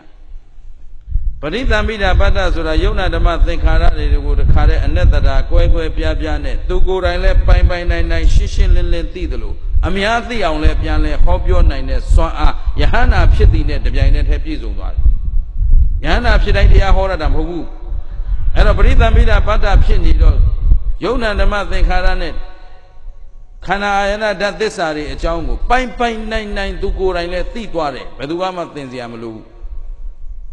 သိသလိုသူသိသလိုအများသိအောင်ပြန်လဲဟောပြောနိုင်တဲ့အစွမ်းပကားလဲရှိတယ်အဲ့ဒါပฏิသံပိဒပတ္တလို့မှတ်တာနောက်ဆက်လာပိညာအဘိညာဉ်6ပါးလဲပြည့်စုံသွားတော့သူ့ဘဝအတိတ်ကြောင်းကိုသူကောင်းကောင်းကြီးသိသွားတော့မှဘယ်ဝကြွေးလဲဘယ်ဝကြွေးလဲချစ်ရဲ့ဘယ်တွေ့ပါဆိုလာပဲနော်အခုလည်းသူပြန်စဉ်းစားလိုက်တယ်ဒါဘယ်တော့က မကြွေးလဲသူ့အကြောင်းကိုသူပဲပြန်ဟောပါပြီခင်ဗျာတိယုံမဟုတ်ဘူးပြန်ပြီးဟောအဲ့တော့တရားကောင်းတင်လေးဟာဘယ်တခါလေးဘယ်လိုမှားပါလိမ့်နော်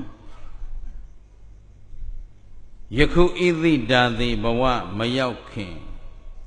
ခွန်တဘဝအလွန်ကဘ ယ်တော့ကသူဟာရှေ့ကဝိပတိသိခိကောနာကုံကတ္တပဟုတ်ကလားကောက်ကုတံကောနာကုံကတ္တပဆိုတဲ့ဖယားရှေ့ဖယားတွေအကုန်လုံးကိုအဆူဆူမှီခဲ့ပြီးတော့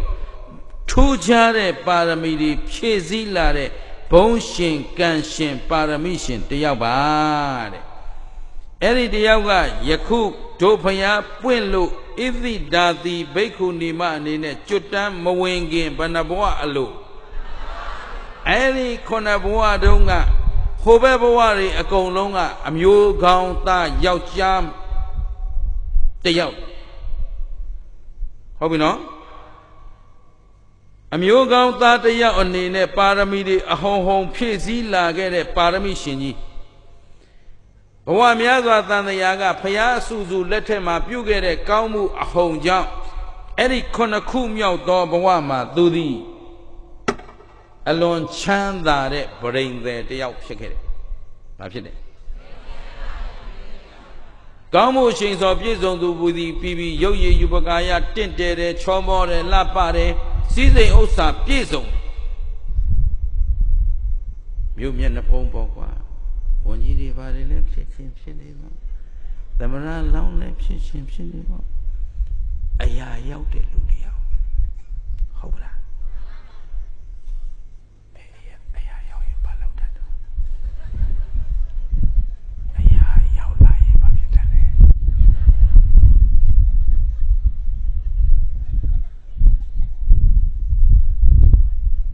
မာနကလေးကဝင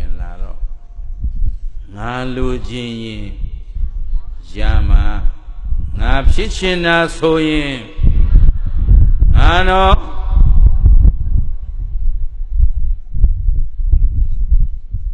အဲ့ဒါခက်တယ်ဗျကံကောင်းအောင်လုပ်ရတာဟုတ်တယ်ဒါမှမဟုတ်သူ့မင်္ဂလာကိုဘဝကိုကျေးဇူးတင်တယ်သူ့မင်္ဂလာကံမကောင်းဘူးဖြစ်ချင်တာတွေဘာမှသိမဖြစ်ဘူးကိုလှုပ်လိုက်ရင်လည်းသိကောင်းတာသိမရှိဘူး ဆိုတော့ကိုဘုံကိုကံကြည့်ပြီးတော့အော်ငါကောင်းဘာကောင်းမှမဟုတ်ပါလားဘာကောင်းမှမဟုတ်ပါလားဆိုဘာကောင်းမှမဟုတ်ဘဲနဲ့ကိုမာနထရင်ထနေသေးတာသဘောပါသလားအဲ့ဒါကိုကိုကိုစဉ်းစားမလို့တော်သေးနော်ငါဘာမှမဟုတ်လို့ဟုတ်မြဟုတ်ရင်ဒီကောင်ဒဲဦးရောက်တော့ပြီခုချိန်90တောင်ကြာမှာမဟုတ်ဘူးသဘောပါသလားအဲ့တော့အဲ့ကိုဘွားလေးကိုကျေးဇူးတင်နေတာနော်အစွမ်းထက်သူကြီးမဖြစ်တာကိုကျေးဇူးတင်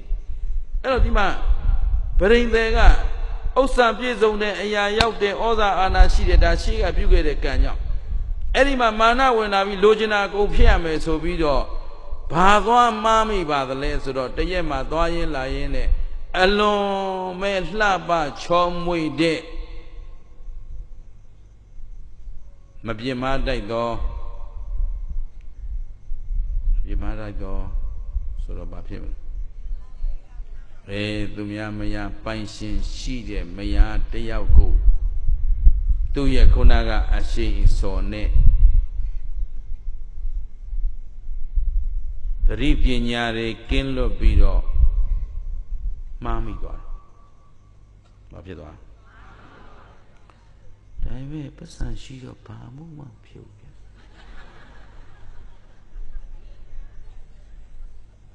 သဘောပါလား ဗါတယ်အရာလေးရောက်တာဖုံဖုံဖြည်းဖြည်းလှုပ်လိုက်မပြီးဘူးလားအဲအဲ့ဒီဘဝဘာမှဖြစ်ဘူး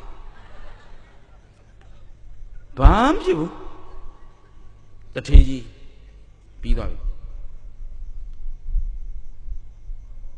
သဘောပါတယ်နော်လူသိရှင်ကြားမဖြစ်ဘူးတခါလေးပဲမှာ ဘာဖြစ်လဲအဲတထေးကြီးလေဒီတော့တော့မှားမှာပေါ့ဟုတ်တယ်မလားကြီး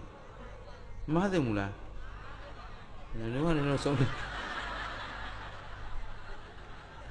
ကိုယ်ကိုယ်သာအဆင်ပြေသလိုလုပ်ကြတော့နော်ဘာဖြစ်လဲတခါလေးပဲဗာဆန်းတယ်လည်းမဟုတ်နော်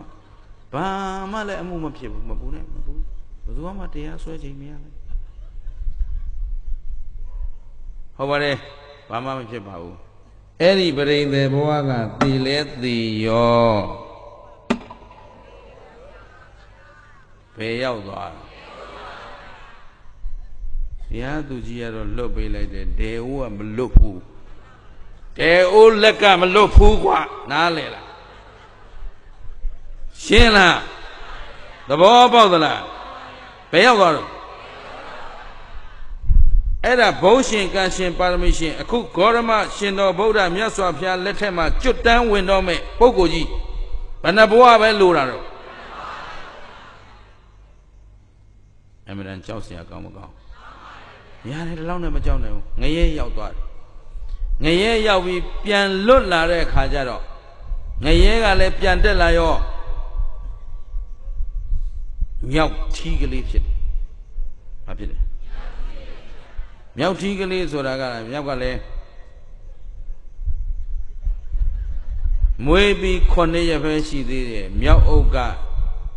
မြောက်တကြီးကအထီးမွေးလာတယ်ဆိုတော့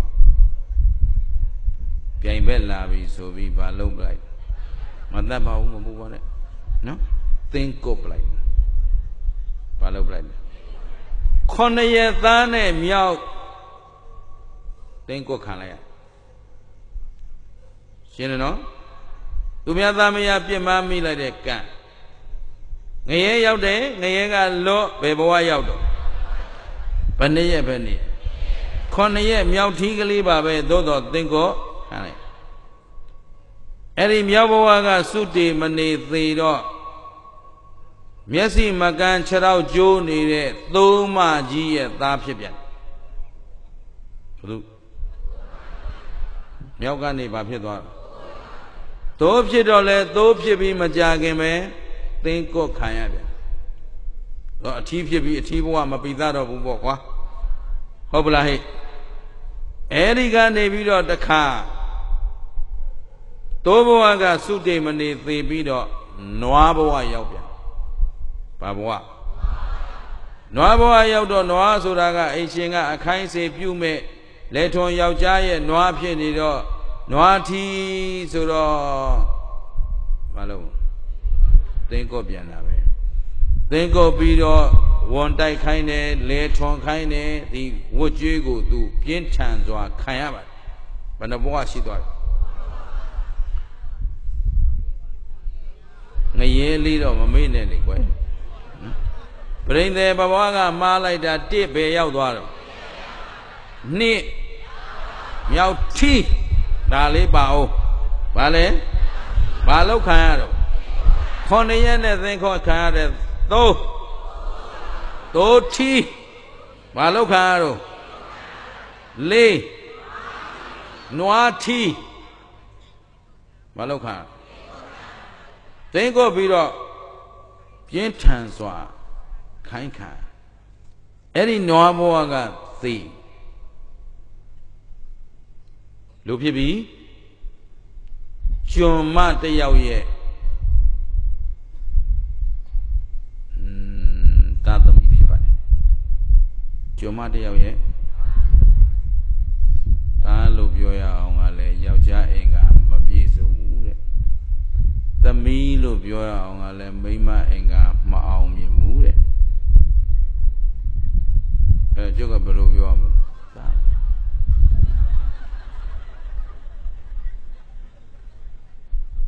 ကာမေတုမိစ္ဆာသာရကဘဏ္ဍခါမှာတခါတည်းပါဘာမှမဖြစ်ဘူးမပူရှင်းတယ်နော်သဘောပေါက်သလားလောကနိယာမကိုရှောင်ပြေးလို့အေးခင်ဗျားတို့ကျုပ်က6နေထင်လားထေရီအပဒံပါဠိတော်ကြီးမှာ ဣသိဓာတိတုတ်လို့အထင်ရှားရှိပါတယ်အမျိုးသားဘဝနဲ့ဘဝခရားအဆူဆူပါရမီဖြည့်လာတဲ့ပုဂ္ဂိုလ်ခုနှစ်ဘဝအလိုပရိသေသားဘဝမှာပရိသေဘဝပရိသေသားမဟုတ်ဘူးပရိသေဘဝမှာမှားခဲ့တဲ့ကံကလေးတစ်ချက်ကြောင့်အခုနပုံးပန်းတို့ဖြစ်ပါတယ်။မဟုတ်လေ။နပုံးပန်းတို့ဆိုတော့ယောက်ျားလည်းမဟုတ်မိန်းမလည်းမဟုတ်စပြောင်းပါပြီ။ငကောကအထီးကြီး ပြီးပြီးသသကနေငရဲရောက်သုံးဘဝသင်္ကုတ်ခံရပြီးတဲ့နောက်အထီးမဟုတ်အမမဟုတ်ဘဝရောက်ကိုရောက်အဲ့ဒီဘဝမှာကြာရှည်စွာသူအရှက်တကွဲဖြစ်ခဲ့ပြီးတဲ့နောက်နောက်ဘဝတစ်ခုကြတော့ခုနကဘဝဆိုတာကလည်းကျွန်မသားနော်ဗါတဲ့ကျွန်မသွားဆိုတော့မြင့်မြတ်သောအမျိုးမှလားယုံညံ့သောအမျိုးမှလား အဲဇလန်းကအဲ့ဒီမှာစပြီယုံညံ့သောအမှုမှာလုပ်ခဲ့တဲ့ပုဂ္ဂိုလ်ယုံညံ့သောကံကြောင့်ယုံညံ့သောဘဝကိုသာရတယ်ဒီနေ့သူတော်ကောင်းတို့တို့ယုံညံ့စွာအသက်မွေးနေရပြီဆိုရင်အကြောင်းကံမလှတော့ဘူးသူကမှတ်ပြီးတော့အဲ့တော့မလှတော့အတိတ်ကမလှတာကိုပြစ္ဆုတ်ပံမလှတာနဲ့ဒါဆက်ပြီးခရီးနှင်းရင်ခမရတို့ဘဝတွေနစ်မောတော့မယ်ဆိုတာမသိကြဘူးလား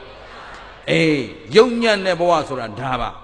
ကိုဘဝအသက်မွေးမှုအတွက်ယက်တီရတဲ့အပေါ်မှာစ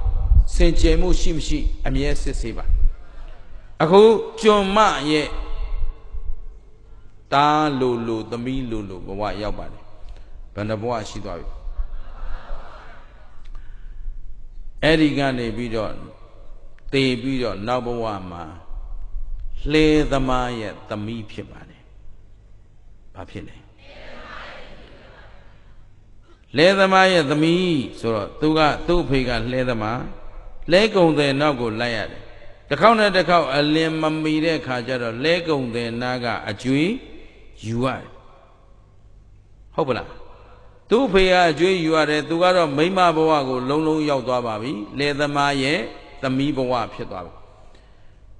သို့တော်ဟိုးရှိကပြုခဲ့တဲ့အတိတ်ကံပါရမီအဟုန်ကြောင့်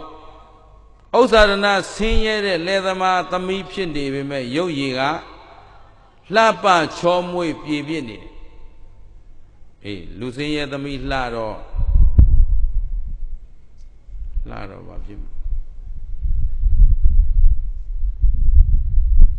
အန္တရာယ်ရှိမရှိလှတယ်ဆိုတာသူ့နေရာနဲ့သူလှအောင်မှငမွဲသမီးလှနေတော့ဒုက္ခရောက်ဖို့ဖြစ်တာပေါ့ရှင်းလား တော့တခါတလေပြောမလေးသူတို့အချွေးတွေအချွေးတွေရှိနေတယ်အချွေးသိမ့်ခံလိုက်ရတယ်အေးနည်းဘာလို့လှနေလို့လှရင်တော့သိမ့်သွားမှာပေါ့လောကရဲမလှအောင်လုပ်ခဲ့ပေါ့အကုသို့များမဲ့သူတို့မလှအောင်သာလုပ်ခဲ့လို့သဘောပါလားအပြောရတော့မကောင်းပတ်သက်မရှိပါဘူးဆိုဒီမှာ6ဘာသာကုန်လို့ထွက်တယ်အေးပတ်သက်မရှိဘာလို့6ဘာသာထွက်အောင်ဖြေတော့လို့ပြောငါနဲ့တော့အဲ့ဒါတွေးတော့မှာ သဘောပါတယ်နော်အဲ့တော့ထားပါတော့ဒါကြိုးစားတာကြိုးစားကြတာပေါ့ဘဝယုံကန္တာတပိုင်းမှာပြောစီပြည့်စီပြောတာပါအဲ့တော့ဦးဇင်းတို့တွေမရှိပါဘူးဆိုတော့ငမွေးလဲသမားလဲကုံတွေကသမီးကျော်လေးမြင်တော့ပေးတာပေါ့အကျွေးဒါပေမဲ့လဲကုံတွေကဖြောင်းပါတယ်တဲ့မဖြောင်းတာကကုံတဲ့ရဲ့သားဗါလဲကုံတဲ့သားက သူ့ဖေနန်းကကြွေးယူနေတာလည်းသိတယ်အဖေကိုကြွေးကြွေးပေးပေးပေးပေါ့ဆိုပြီးမှပြောပြီးတော့အဖေမသိတဲ့အချိန်ကြွေးလာတောင်းဟိုကမပေးနိုင်မပေးနိုင်တော့ကဲဘာလုပ်မလို့ကဲပြောသမီးကြောလေးမရှိဘူးလားဘာလုပ်အာဓမဆွဲခေါ်သွားတယ်ခမရမပေးနိုင်လို့ကတော့ဒါလာခဲ့ဆိုသမီးဆွဲခေါ်သွားအနိုင်တဲ့စီးနေအပြုခံရတာပေါ့နော် အဲဒါပေမဲ့ကံကောင်းခြင်းတော့အာရမသိမ့်ပိုက်တယ်ဆိုပေမဲ့ခြေတော်တင်ယုံတက်တက်မဟုတ်ဖ ೇನೆ ကံလေးရကောင်းခြင်းတော့လဲကုံတဲ့သားကသူ့ကိုမျက်နှိုးတာနဲ့อืมမရငယ်ပေါ့ကွာဟုတ်လားသူ့မှာမရကြီးရှိတော့သူ့ကိုဘယ်နေရာထားလိုက်အဲ တတ်တတ်မမပေါင်းတယ်ဆိုရင်ကိုဒါကျေးဇူးတင်ရအောင်မှာပေါ့အဲ့တော့အဲ့ဒီလိုနဲ့မရငယ်နေရာမှာထားပြီးမြောက်စားလိုက်တယ်ဆိုတော့နည်းနည်းတော့ကံကောင်းသေးတယ်လို့ပြောလို့ရတယ်တက်သက်အနိုင်ကျင့်ခံလိုက်ရတာနဲ့စာရင်ဒါတတ်တတ်မမပေါင်းတော့အဆင်မပြေဘူးလားအေးမိန်းကလေးတွေဘွားဆိုတာအဲ့ဒါပဲသတိထားဖို့အဲ့တော့အခြေတော့မပြောတော့ပါဘူးလေနော်ရင်ကြီးလိမ့်မှာသင်ပေးပါလိမ့်မယ် အဲ့တော့တို့တို့အဲ့ဒီလိုဖြစ်တဲ့အချိန်မှာကံကောင်းလက်စနဲ့ကောင်းအောင်မလုပ်နိုင်ဘဲနဲ့ဒီဣတိဓာတိလောင်းလျာလေးကမယငယ်ဘဝမှာနေရတာကိုတဖြည်းဖြည်းနဲ့ဘဝင်မြင့်လာပြီးတော့ तू ကဘာဖြစ်ချင်မဟုတ်ဘူးဘဲမရကြီးရမှာအပြိုင်အပြိုင်မရှိတယောက်တည်းပဲဖြစ်ချင်မှာပေါ့မရင်ပြိုင်ဘူးနေချင်တော့ကဲပြသားမိမတွေငါလိုက်မေးဦးမယ် သဘောပါဝိသခာရဲ့ဝိဝိသခာရဲ့ဥပုပ်တဲ့တွေပြောတာရှိတယ်နော်လင်တူမယားများနဲ့ဘယ်တော့မှမဆုံမရစီနဲ့တဲ့ဒါမိမတွေအဲ့ဒါကြောင့်ဥပုပ်ဆောင်တယ်တဲ့လင်တူမယားနဲ့ကြုံရမှာဆိုလို့ဟုတ်ပလား အဲ့တော့အခုမယငယ်ဆိုတော့သူ့ဘဝလေးသူမတင်းတိမ်နိုင်ဘူးသူသာအပိုင်ရှင်ဖြစ်အောင်ဆိုပြီးတော့တခါတည်းအရင်ရှိနေတဲ့မယားကြီးဒါကမယားကြီးကကြီးကြီးပြူပြူနဲ့ကဲသူ့ရဲ့ခင်မွန်းတဲ့ကလိုချင်တယ်ဆိုရင်ယူပါဆိုပြီးခွင့်ပြုထားတဲ့မယားကြီးကိုမှသူကအာမနာပဲနဲ့ပြန်ပြီးတော့သူကဂုံတိုက်တယ်ဘာလုပ်တယ် အခါအားလျော်သောအချိန်ရတိုင်းရတိုင်းဒီမယားကြီးကိုမျိုးစုံပြစ်မျိုးစုံမရှိတဲ့အပြစ်တွေကိုအပြစ်ဆင်ပြီးတော့သူ့ရဲ့လင်တော်မောင်ညူစုအောင်စောင်းမြောင်းအောင်ဒီမယားကြီးကိုစွန့်ခွာအောင်ဆိုပြီးနီးမျိုးစုံလှုပ်ကြံမှုတွေလုပ်ခဲ့တယ်ကုသိုလ်လားအကုသိုလ်လားဒါတော့အမှားပေါ်ပါဆင့်သွားပြီ တချိန်ကမှားခဲ့တဲ့အမှားတစ်ခုကြောင့်အခုသူယောက်ျားဘဝကဘယ်ရောက်သွားပြီမိမဘဝတောင်မှတူတူတန်တန်လားသူတစ်ပါးအနိုင်ကျင့်ခံရတဲ့ဘဝလားအဲ့တော့အဲ့ဒီဘဝကံကြမ္မာဇိုးကိုကံကြမ္မာကောင်းအောင်ကိုယ့်ရဲ့ကာယကံဝစီကံမနောကံကို ပြင်ဖို့မကြိုးစားပဲနဲ့ကုသိုလ်ထပ်လုပ်လားအကုသိုလ်ထပ်လုပ်ဟောအမှားဆိုတာမှားမိပြီဆိုရင် မှားပြီးရင်မှားတတ်တယ်ဆိုတာ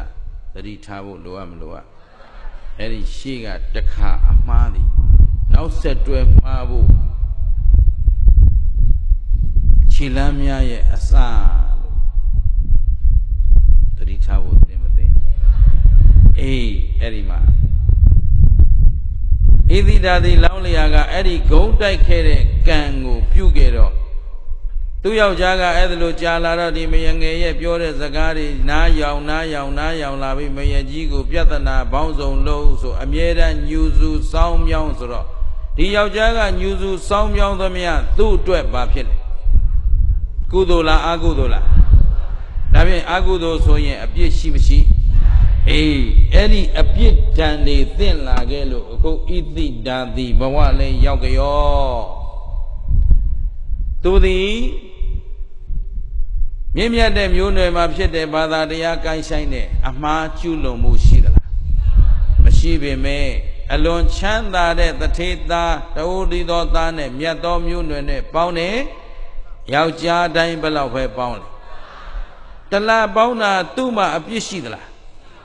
ဒီဘဝမှာအပြစ်မရှိပေမဲ့တန်တရားအပြစ်ကအကြောင်းရှိမရှိအဲ့တော့သူအကြောင်းမကောင်းလို့ အဲ့တော့မကောင်းတဲ့အကြောင်းတရားကြီးသူတစ်ပါးကိုဂုံးတိုက်ခဲ့တဲ့သူတစ်ပါးကိုညူစုအောင်စိတ်ဆင်းရဲအောင်ပြုခဲ့တဲ့အကြောင်းကံကြောင့်ဒီဘဝမှာဘယ်လောက်ဖြူစင်နေပင်ဖြူစင်နေကြတော့လည်းပဲ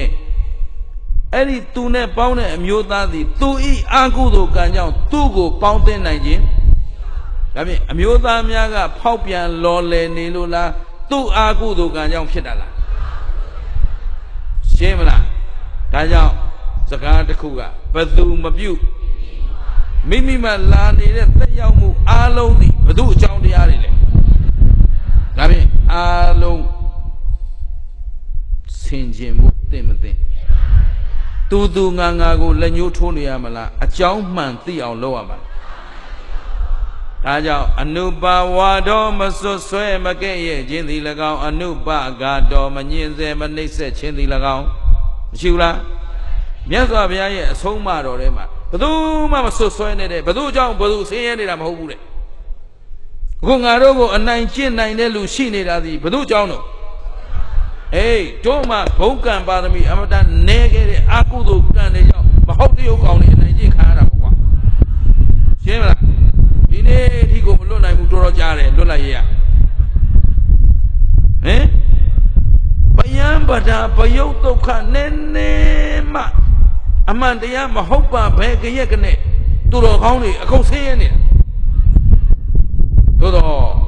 အနုပါဝါတော်မဆွဆွဲမကဲ့ရဲ့ခြင်းသည်၎င်းအနုပအကတော်မငင်းစေမနှိမ့်ဆက်ခြင်းသည်၎င်းတဲ့ဘယ်သူမှသွားမဆွဆွဲရနဲ့တဲ့သူတို့တွေဒီလိုပြုလို့ရနေတာဟာသူတို့ကသူတို့အကြောင်းကိုက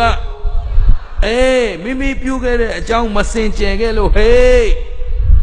ဒါကြောင့်ဥဒ္ဓမင်္ဂလာကအမြဲတမ်းခမရတို့ကိုဒါအခုမှထုတ်ပြောတာ16နှစ်သားကလေးကမြန်မာနိုင်ငံကြောက်တဲကြနေတာကိုသူမင်္ဂလာကောင်းကောင်းကြီးသိတယ်ကဲဖို့ကြိုးစားခဲ့တာဘုံမဲ့ကံမဲ့မို့လို့ဒီနေ့အထိငုတ်တုတ်ထိုင်ကြည့်နေရတယ်ကိုတောင်ဟိုပတ်ပြေးလိုက်ရဒီပတ်ပြေးလိုက်ရသဘောပါလားကျုံနှလုံးသားထဲမှာခမရတို့မြန်မာနိုင်ငံကိုကယ်ခဲ့တာ16နှစ်သားကလေးကရှင်းလား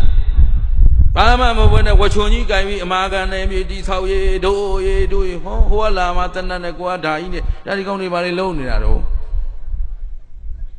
သူတို့လုံးသမျှအကုန်လုံးသူမင်္ဂလာ16နှစ်သားသိခဲ့ပါတယ်ဒါကြောင့်သိသလောက်အကုန်မပြောသေးဘူးလို့ပြောတယ်လွတ်လပ်ရေးရမှာပြောပြမယ်ရှင်းလားအကြောင်းမကောင်းတော့အကြောင်းမစင်ကြင်ရင်သဘောပါသလား ဘသူမပြုတ်ဣတိဓာတိတက်သိထူပါပြီဘယ်နှခါလေးမှားခဲ့တာတခါလေးဘယ်သူမှမသိလိုက်ပါဘူးဘာမှမလည်းမဖြစ်ပါဘူးတသက်လုံးအေးဆေးဆေးပါပဲပြိန်သေးကြီးလူချမ်းသာဆိုပြီးတော့မလေးရွှေထီးမိုးပြီးချိုင်ဟမ်အတူပါပို့တော့ရွှေထီးတောင်မိုးရည်တယ်ဘာလို့ပြိန်သေးကြီးဖရားတကာကြီးကျောင်းတကာကြီးဆို तू तू လှုပ်ထားတာဘယ်သူမှသိတယ်မှမဟုတ်ဘူးနဲ့ရှင်းသလား အားလုံးသဘောပေါက်သလားသူများမယားပြစ်မှားမိတဲ့ကံလေးတကံလေးနဲ့ဒီမှာခုနှစ်ဘဝဒုက္ခရောက်သွားတယ်ရှင်းပြီနော်ဒါတောင်ရှေ့မှာပြုခဲ့တဲ့ဘုရားရှင်လက်ထက်ကကံရဒီဂေါရမရှင်တော်ဘုရားလက်ထက်မှာကျွတ်တန်းဝင်ရမယ်ကံကြီးပါပြီးသားမို့လို့ပစ္စည်းမဘဝိကသမားတောင်မှဒီအမားမျိုးကြောင့်ဒီဒုက္ခတွေအခုကျွတ်တန်းဝင်သွားတော့ယောက်ျားဖြစ်ကျွတ်သွားသလားမိန်းမဖြစ်ကျွတ်သွားသလားအဲယဟန်ဖြစ်တော့မကျွတ်နိုင်တော့ဘူးဘိက္ခုနီမဖြစ်သွားတယ် ရှင်းမလားဒါဖြင့်ကံတရားသည်အကုသိုလ်ကံလေးနည်းနည်းလေးပဲဆိုပြီးအထင်သေးလို့တော့သဘောပါသလားဒါကြောင့်မို့လို့သူတော်ကောင်းတို့သည်ကိုဘဝကိုစင်ကြယ်အောင်ကြိုးစားကြဖို့လိုအပ်မလိုအပ်စင်ကြယ်အောင်အားထုတ်ရမယ်တရားဘယ်နှပါတိ သီလကာယကံသီလဝစီကံသီလမနောကံသီလဘယ်သီလမှမကြိုးမပေါက်မပြောက်မချမ်းအောင်စောင့်ထိန်နိုင်တဲ့ပုဂ္ဂိုလ်တွေဖြစ်ကိုယ့်ကိုယ်ကိုအစဉ်ကျေသုံးဖြစ်အောင်မှတ်ကြောက်တယ်မှာရှင်းသလားနှစ်စိတ်စင်ကြယ်ရမယ်ကိုယ်မှာလောဘဒေါသမောဟအိတ်တမစ္စရိယအဘိဇာပြာမာရအတ္တမာနတွေကင်းစင်အောင်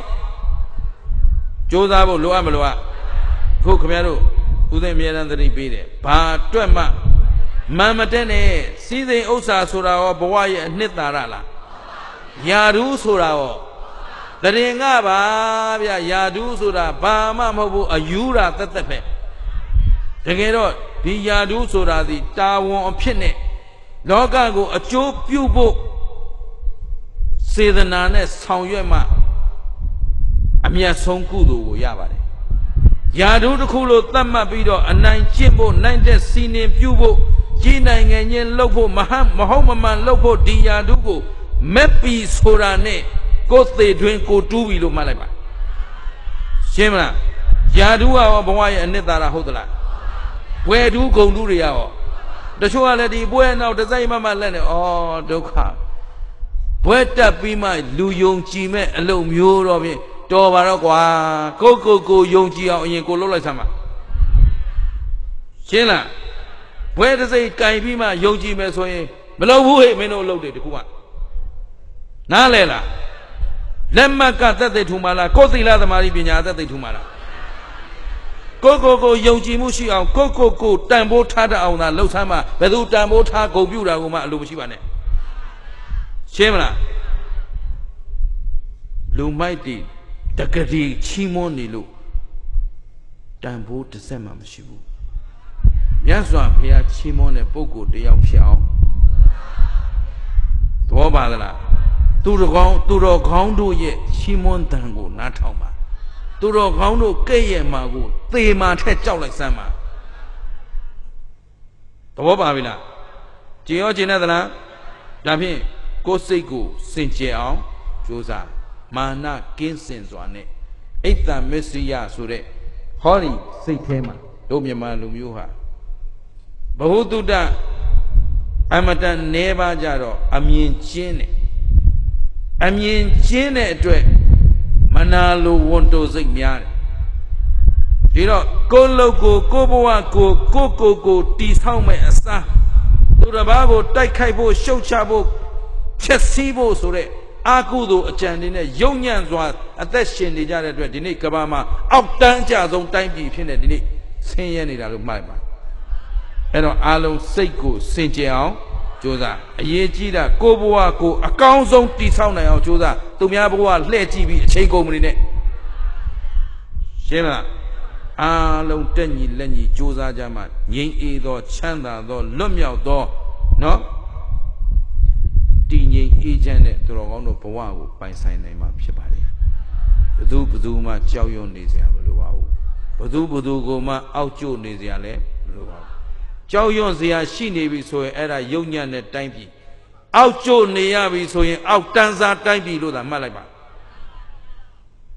ဘောပါလားအဲ့တော့အားလုံးဒုဒရီရဲ့ဘဝကိုဒုဒရီတိဆောက်လို့ရမရဒုဘဝရဲ့အရှင်သခင်ဟာရှင်း နေပြီနော်နှစ်ပါစင်တရားသုံးကုသိုလ်ကံဆိုတာရှိမရှိကုသိုလ်အကျိုးပေးဆိုတာရောကုသိုလ်လေးနည်းနည်းလေးပဲဆိုပြီးတော့လည်းအထင်မသေးလိုက်ပါနဲ့မြောင်များစွာသောနိဗ္ဗာန်တိုင်အောင်အကျိုးတွေပေးနိုင်ပါတယ်အကုသိုလ်လေးတစ်ခါလေးတစ်ခုလေးပဲဆိုပြီးအထင်မသေးလိုက်ပါနဲ့ဒီမှာလက်မတင်လေး ဒီသာသနာနဲ့သာမကြုံလိုက်ရင် तू နောက်ထပ်ဘဝများစွာတန်တရားဒုက္ခရောက်တော့ရှင်းလားသဘောပေါက်သလားခုခင်ဗျားတို့သာသနာနဲ့ကြုံမကြုံလူအဖြစ်ရမရဒါဖြင့်အာကုသိုလ်ကံဆိုတာရှိမရှိအာကုသိုလ်အကျိုးပေးဆိုတာရောကုသိုလ်ကံဆိုတာလဲကုသိုလ်အကျိုးပေးဆိုတာလဲအဲ့တော့အဲ့ဒီကုသိုလ်အာကုသိုလ်တွေကပြုထားပြီးသားကံတွေဟာအကျိုးပေးမလားမပေးဘူးလား အဲ့တော့အဲ့ဒီအကျိုးပေးလာပြီဆိုဆိုမှညီးညူရှောင်ရှားခြင်းလို့အကြောင်းကောင်းရင်အကြောင်းမကောင်းရင်ဘယ်သူမပြုရှင်းသလား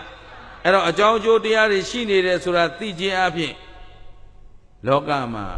တကိုးရှင်ကယ်လို့ကဲတင်ရှင်ဆိုတာကယ်လို့မရဘူးဘသူဘဝဘသူတိဆောက်မှာ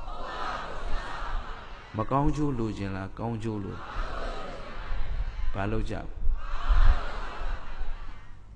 ဦးဇင်းခုဒီနေ့ဒီနေ့ဓမ္မဒုတပေါ့လေတရားဟောခရီးစဉ်တွေထွက်တဲ့အခါရောက်ရရမှထေကြီးဝါကြီးတွေကြော့ပါတယ်ဩဝါဒခံပါတယ်ဒါဦးဇင်းလုံနေကြလှုပ်ပါယဟန်ဘွားရောက်လို့နော်ဒီ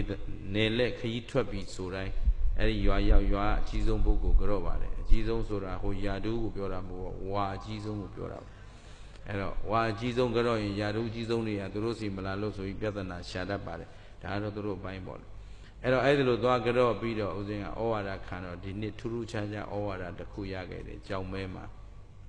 ဆရာတော်ကြီးကတော့ပြောဆရာတော်ကြီးကလည်းပြောပြောရွှင်ရွှင်ပဲနှုတ်ဆက်ပါတယ်နှုတ်ဆက်ပြီးတော့အရှင်ဘုရားတပည့်တော်ဩဝါဒဆုံးမှာပါဆိုတော့ဓမ္မဂရိကကြီးငါဘာဩဝါဒပေးရမလို့ကွာတဲ့ ဒါပေမဲ့ရပါတယ်ကွာတဲ့မင်းတို့တောင်းတော့လည်းပေးရမှာပေါ့တို့ဘုရားသားတော်တွေအဲ့မင်းမငါပါဠိလိုပြောလိုက်မဲတဲ့မင်းနားလည်လားတဲ့တပည့်တော်နားလည်အောင်ကြိုးစားပါမယ်ပေါ့နော်ကီကီနောင်